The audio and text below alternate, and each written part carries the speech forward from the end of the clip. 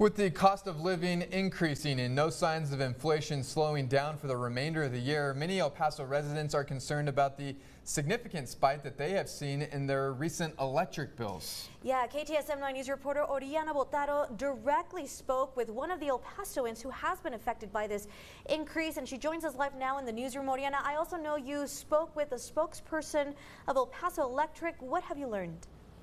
Well, Andy, Monica, it's typical to see a spike in our electric bills during the summer months as we tend to run our units longer with lower temperatures to bear the heat. However, one El Pasoan tells me he never expected to see such a big jump in his bill and we're seeing a constant increase of our electricity bill. So it's getting harder for consumers to be able to afford it. Rene Botello owns a real estate firm on the east side. He says he saw his bill for his own home go from $80 one month to $180 the next without changing how he uses his electricity.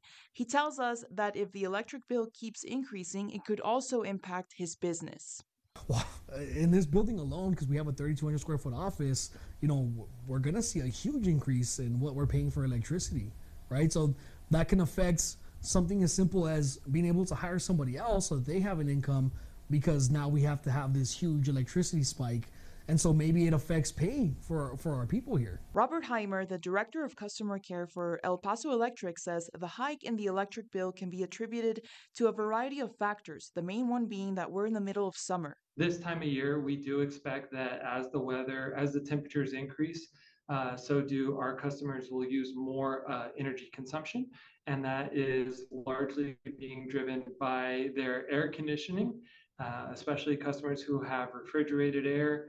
When asked what El Paso Electric is doing to work with customers, we're doing everything we can to keep our energy bills affordable for our customers. We know how important that is.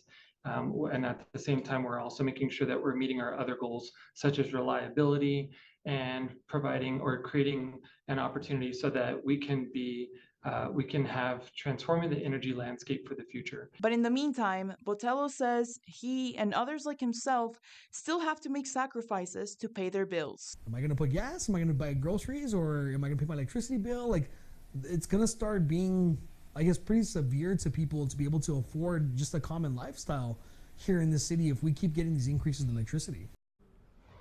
Heimer urges any customers with uh, regarding with any concerns regarding the, their bill to reach out to El Paso Electric or head to their website where they have tips and tools that can give you a better understanding on your energy consumption. For now, reporting in the newsroom, Oriana Botaro, KTSM 9 News.